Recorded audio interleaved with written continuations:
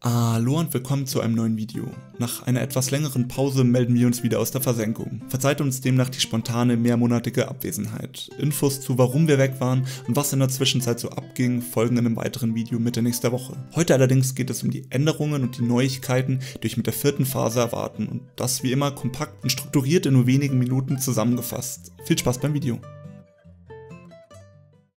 Zulaman der neue 10-Spieler-Raid zu Laman erscheint am Donnerstag, dem 24. März um 23 Uhr deutscher Zeit. Deswegen aufgepasst, da allgemein die vierte Phase schon zu den gewohnten Wartungsarbeiten am Mittwoch startet. Hier müsst ihr euch demnach noch einen Tag länger gedulden. Zulaman befindet sich in den Geisterlanden in den östlichen Pestländer und ist ohne Zugangsquest betretbar. Insgesamt erwarten euch sechs Bosse. Zuerst besiegt ihr die vier Tieraspekte Axilon, Halasi, Janalai sowie Nalurak und macht euch anschließend auf zum Hexlord Malakras, der euch den letzten Weg zum Endboss Zuljin versperrt. Vom Schwierigkeitsgrad und den Gegenständen, welche fallen gelassen werden, ist es eher eine Auffüllunstanz für Spieler mit T4-Ausrüstung. Allgemein gibt es aber definitiv das ein oder andere Item, welche für alle Spieler interessant sein dürfte. Ich sage nur die 20 Platz Tasche Zerlumpter Beutel aus Hexerstoff, welche ihr durch eine Quest vor der Instanz bekommen könnt. Oder auch diverse Schmuckstücke wie der verhexte Schrumpfkopf oder Ruf des Berserkers. Zusätzlich gibt es noch ein Zeitevent, bei dem ihr binnen 45 Minuten die ersten vier Bosse besiegen und dadurch die Geiseln retten müsst. Der Timer startet mit 20 Minuten und nach gewissen Bossen bekommt ihr weitere Zeit dazu. Solltet ihr das Ganze schaffen, winkt im Raid ein Bär der Armani sowie zusätzlicher Loot. Sucht euch dafür am besten eine Stammgruppe. Alle drei Tage wird der Raid nämlich resettet und ihr könnt den Time von vorne beginnen. Schlüssel für heroische Dungeons. Die Rufanforderungen für die HC-Keys wurden von respektvoll auf wohlwollend gesenkt.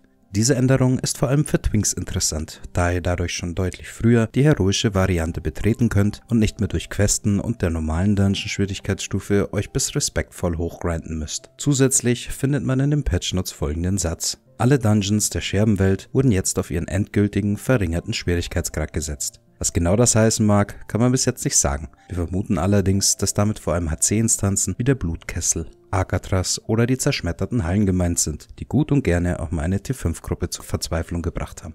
Ein weiteres kleines, aber extrem feines Update ist der Port zum Mount Hyjal. Der MPC Sephir, welcher im Gasthaus im unteren Viertel in Shatrat an der Bar zu finden ist, portet euch ab der Rufstufe respektvoll bei den Hütern der Zeit in die Höhlen der Zeit. Dadurch spart ihr euch die lange Anreise nach Tanaris und könnt direkt in euer jeweiliges Dungeon-Portal hüpfen. Urnether sowie der Nether Vortex sind ab jetzt handelbar. Dadurch könnt ihr euch diesen ganz einfach im Auktionshaus kaufen oder sogar verkaufen. Außerdem ist besagter Nether Vortex nun ebenfalls via Marken der Gerechtigkeit in der Mitte von Shatrat bei Geras zu erwerben. Dafür müsst ihr allerdings 15 Abzeichen der Gerechtigkeit hinlegen. Davor war diese nur beim Trash und den Bossen aus dem Schlangenschrein sowie der Festung der Stürme plünderbar und direkt beim Aufheben gebunden. Ab sofort könnt ihr aus dem Sack von Magteridon bzw. dem glänzenden Glas der Juwelenschleifer mit etwas Glück einen epischen Stein herausziehen. Bedenkt allerdings, dass das erst ab dem Patch funktioniert. Alle davor erbeuteten Säcke bzw. glänzenden Gläser, die demnach vor dem Patch erhalten wurden und danach geöffnet, können keine Epic Gems erhalten. Abzeichen der Gerechtigkeit werden nun von allen Bossen aus Karasan, Kruls Unterschlupf, Magteridons Kammer, dem Schlangenschrein, der Festung der Stürme, Zulaman sowie den beiden Worldbossen fallen gelassen. Dadurch sind diese nicht mehr nur durch heroische Dungeons bzw. der Daily HC Quest erhältlich. Vor allem wird hierdurch der Wiederspielwert der alten Raids erhöht, da man zumindest noch Marken bekommt, auch wenn man definitiv keine Items mehr benötigt. Wofür gebe ich nun aber die ganzen neuen Marken aus?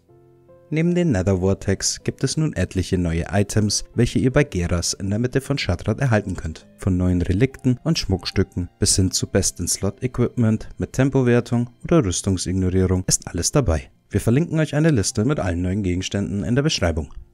Zuletzt gab es noch Änderungen an einigen Items. Der einhändige Streitkolben Drachenmal ist nun nicht mehr auf die Waffenhand begrenzt. Infolgedessen könnt ihr diesen nun doppelt ausrüsten. Außerdem ist die fallen gelassene Beute der beiden Worldbosse Verdammtes Lord Kazak und dem Verdammniswandler beim Anziehen und nicht mehr beim Aufheben gebunden. Dadurch könnt ihr die Beute handeln bzw. an Twinks oder Freunde weitergeben. Des Weiteren kommen die großen Trommeln der Schlacht ins Spiel, welche die Range von 8 auf 40 Yard erhöhen. Zusätzlich gibt es noch den Köcher sowie den Munitionsbeutel aus Knotenhautleder zu erlernen. Sind nicht die besten, allerdings super, um schnell seinen Hunter Twink auszustatten.